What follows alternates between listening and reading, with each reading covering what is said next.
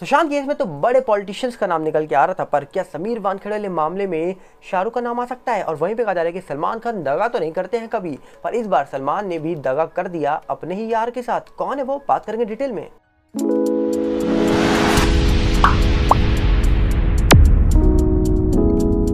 सबसे पहले यहाँ पर हम बता दें आपको कि सुशांत केस जब हुआ तो कहा जाता है कि उस केस के अंदर कई सारे लोगों का नाम निकल के आया।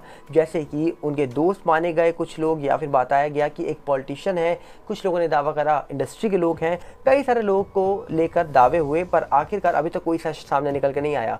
पर इसी के बाद कहा जा रहा है कि जब से समीर वानखेड़े जी को लेकर सवाल उठाए गए, उनका जो मामला है वो बहुत तेज़ी से आगे बढ़ा तो लगता है कि इस मामले में भी क्या कोई बड़ा शख्स इन्वॉल्व हो सकता है? क्योंकि दावा होता है कि समीर वानखेड़े जी के ऊपर सवाल तो बहुत सारे उठे थे, पर उन सवालों के बीच में ऐसी क्या सच्चाई छुपी है जो शायद आज तक बाहर निकल के नहीं आई है? जबकि अभी हाल ही में कहा जा रहा है कि बॉम्बे हाईकोर्ट ने सीबीआई को ही फटकार लगा दी और बोल दिया है कि आखिरकार अगर आपको ऐसे ही घुमाना है तो मत घुमाइए। कोई हमको सच बताइए कि हम क्यों प्रोटेक्शन प्रोवाइड ना करें समीर वानखड़े जी को, क्योंकि कहा जा रहा है कि समीर वानखड़े जी को प्रोटेक्शन प्रोवाइड की गई है अट्ठाईस तारीख तक और अट्ठाईस तक उनको तो कोई गिरफ़्तार नहीं कर सकता। पर कहा जा रहा है कि सीबीआई से जब ये सवाल पूछे गए तो सीबीआई के पास सिर्फ़ एक ही जवाब था देने के लिए कि हमें कॉपरेट नहीं किया जा रहा है इस मामले में। अब सोचिए, एक पर्सन जो दो तीन बार सीबीआई दफ्तर जा चुका हो, एक बार ना गया हो किसी पर्सनल रीजन की वजह से तो वो कॉपरेट नहीं कर रहा, ऐसा दावा है सीबीआई का। तो अब देखने वाला विषय यहाँ पर ये है कि समीर वानखड़े जी के ऊपर सवाल तो बहुत सारे उठाए और बहुत सारे लोगों ने उठाए, उनके ऊपर यहाँ तक कि विल्सन टीम को जब बिठाया गया तो उनकी प्रॉपर्टी को लेकर सवाल उठाए गए, उनकी फॉरन ट्रिप को लेकर सवाल उठाए गए। यहाँ तक कि दावे ये भी हुए कि उन्होंने अलग अलग जो लैंड्स खरीद रखी हैं क्या वो भी घूस के पैसे खरीदी हुई हैं? ऐसे ऐसे सवाल उनके ऊपर उठाए गए थे। पर आखिरकार अभी तक कोई भी चीज़ सामने निकल के नहीं आई है। पर उसके बाद देखा गया, जब इस पूरे मामले में सीबीआई की एंट्री हुई, तब भी कहा जा रहा है कि बहुत सारे सवाल उठे थे। पर उसके बावजूद सीबीआई अभी तक इस पूरे मामले को लेकर कुछ भी सबूत सामने रख नहीं पाई है।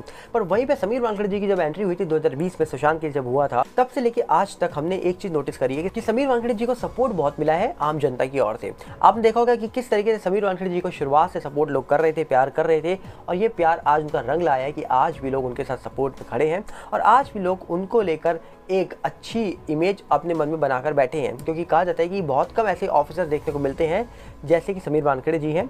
ये बात हम इसलिए कर रहे हैं क्योंकि जिस तरीके से उन्होंने ड्रग पैडलर्स को पकड़ा था, जिस तरीके से उन्होंने इस पूरे मामले में कार्रवाई करी थी, शायद ही और कोई होता तो इतनी जल्दी कर पाता। पर समीर वानखेड़े जी ने किया तो इसका मतलब बहुत ही कम ऐसे लोग होते हैं, बहुत ही कम ऐसे ऑफिसर होते हैं, जो इतना सब कुछ कर पाते हैं। और साथ में अगर हम बात कर लें सुशांत केस की भी तो सुशांत केस को लेकर भी कहा जा रहा है कि बहुत सारी बातें निकल के आ रही हैं। जैसे कि कहा जा रहा है कि सुशांत केस का अपडेट क्या आ जाएगा साल के अंदर, क्या इस मामले का अपडेट अब कभी निकल के नहीं आने वाला? क्या इस पूरे मामले में अब कोई एजेंसी जाँच कर ही नहीं रही है, जबकि आम जनता इंतज़ार कर रही है कि इस पूरे मामले में कुछ ना कुछ सच बाहर निकल के आएगा? पर क्या लगता है आपको कि कोई सच सामने निकल के आने वाला है? क्योंकि समीर वानखेड़ी जी वाला जो मामला चल रहा है, इस मामले में कई सारी बातें निकल के आने के बाद आज कहा जा रहा है कि हो सकता है आने वाले टाइम में सच सामने आ जाए। तो देखने वाला विषय ये है कि समीर वानखेड़ी जी को लेकर जो बातें बोली जा रही है, क्या वो बातें सच हैं, झूठ है, या फिर बनावटी बातें हैं, ये तो आने वाला वक्त ही बता पाएगा। और इसी को लेकर हम आपसे अपील करेंगे, आप अपनी राय कमेंट में रखते रहिएगा कि हम जान पाएँ कि आपको क्या लगता है कि समीर वानखेड़े जी कैसे ऑफिसर हैं। अगर आप उनको जानते हैं तो अपनी बात कमेंट में रखना मत भूलिएगा। पर वहीं पर अगर हम दूसरी तरफ़ बात करें तो इंडस्ट्री का हाल बेहाल तो था ही, पर अब फिर कहा जा रहा है कि कुछ लोग आपस में एक दूसरे को धोखा देने लग गए हैं।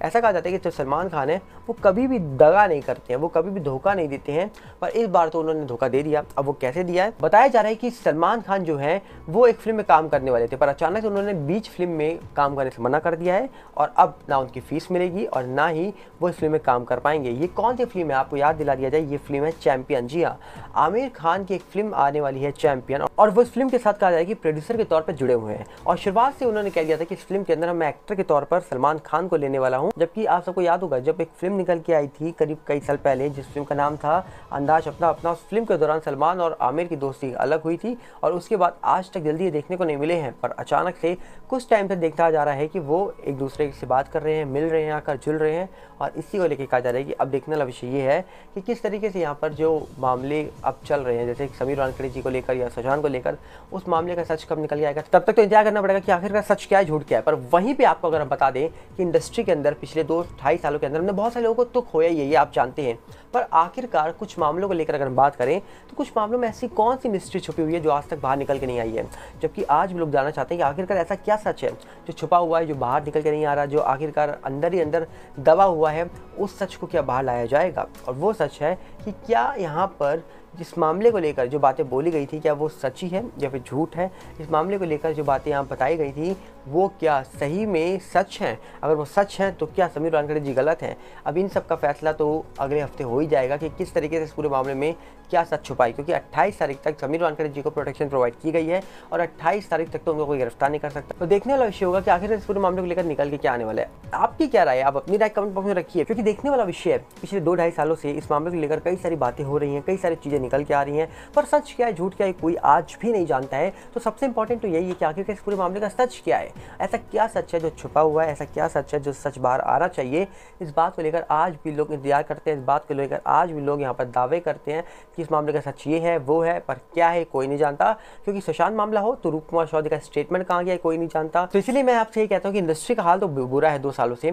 पर कहीं ना कहीं अगर यहाँ पर देखा जाए तो क्या सुशांत केस को लेकर, समीर वानखेड़े जी को लेकर जो बातें निकल के आ रही है, इस मामले का सच क्या है, झूठ क्या है, ये तो आने वाले वक्त में पता लगी जाएगा। पर आपको क्या लगता है कि इस मामले का सच क्या हो सकता है? क्योंकि जिस तरीके से इस मामले को देखा जाए, बहुत सारी बातें निकल के आ रही हैं, बहुत सारी बातें सामने दिखाई दे रही हैं। तो इस मामले को लेकर सवाल तो बहुत सारे उठे, आज भी कई सारे कैफ़ेज़ हैं, वो बातें करते हैं वहाँ पर, कि आखिर सुशांत सच क्या हुआ, सुशांत क्यों नहीं हमारे बीच है? जबकि कहा जा रहा है कि वो बातें बातों में ही रह जाती क्योंकि बहुत सारे लोग होते हैं जिनके पास टाइम नहीं होता वो कहीं ना कहीं इन न्यूज़ को सुन लेते हैं और कहीं ना कहीं देख लेते हैं तो उनको लगता है कि हमने सब देख लिया। पर इस मामले को लेकर बहुत सारी बातें तो उठाई जा रही हैं। अब देखने वाला विषय कि इस मामले का सच कब बाहर निकल के आएगा और कैसे निकल के आएगा? आपकी राय क्या है? आप अपनी राय कमेंट में रख सकते हैं, क्योंकि हम चाहेंगे आप अपनी राय कमेंट में रखिए, ताकि हम जान पाएँ कि क्या इस पूरे मामले में हो सकता है और आखिरकार क्या इस पूरे मामले में कुछ होगा। ये वक्त ही बताएगा आने वाला हम मिलेंगे बहुत जल्दी। नमस्कार। जय साथ में आप अपील करें कि आप हमारे फेसबुक और टेलीग्राम चैनल से जुड़ जाइए, जिसका लिंक डिस्क्रिप्शन में ताकि आपका हमारे साथ टूटे ना और बना रहे साथ। मिलते हैं बहुत जल्दी। नमस्कार। जय हिंद।